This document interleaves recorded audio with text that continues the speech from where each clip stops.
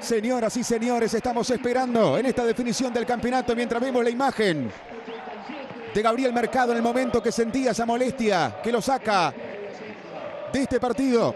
Decisivo a un hombre que ha sido, insisto, importantísimo en este año del conjunto millonario. Es una pérdida fuerte esta de River para esta definición del campeonato, Diego. Sí, por arriba también, porque sabe ir tantas energías consumidas en los últimos partidos, sobre todo la euforia después del festejo, además.